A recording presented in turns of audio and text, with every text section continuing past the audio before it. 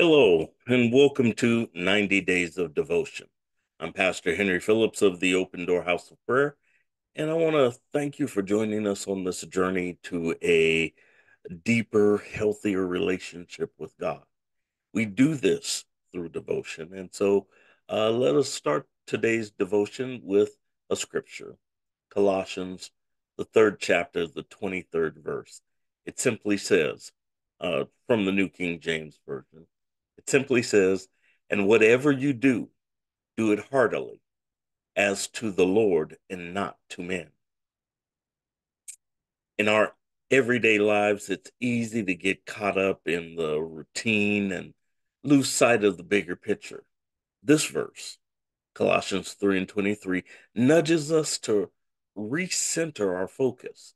It tells us that whatever we do, whether big or small, we should do it wholeheartedly as if we're doing it for the Lord. Think about that for a second. When you realize that every action can be a form of worship, it changes things. The mundane tasks that aren't just chores, they're offerings. That work project isn't just a job, it's service. By giving our best in everything, we are honoring God with our efforts and talents.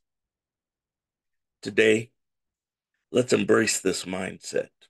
Let's give our best in everything, not to impress people, but to honor God. Whether you're at work, at home, or serving in the community, do it with love and dedication, knowing that you are serving a higher purpose. Let us pray. Heavenly Father,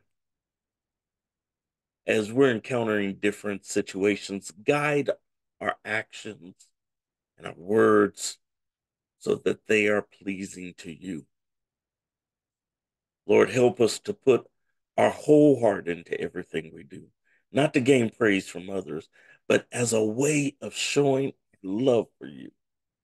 Whether it's being kind to a neighbor, helping a friend, or just spending time in prayer, let all that we do be done with love and gratitude. Fill our hearts with joy and purpose, knowing that living for you is the best way to live. In Jesus' name we pray. Amen. That really does change your perspective on things. Uh, you know, sometimes you go to work and you feel underappreciated, or even your service within the church, you feel underappreciated. But when you change the perspective and see that you're not doing this to get other people to like you, you're not even doing this just for a paycheck.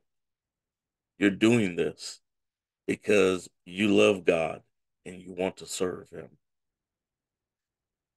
makes anything seem uh, a little bit more glorious now, doesn't it? Well, that's the devotion for today. Uh, want to thank you again for joining us on this journey, 90 days. It's winding down here, coming close to the end.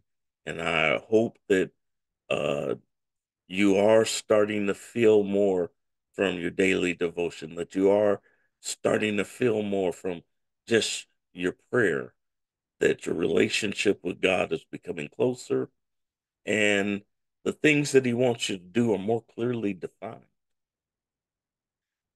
If you need more help with that, my email address is in the uh, description for this video. So uh, please don't hesitate to reach out to me.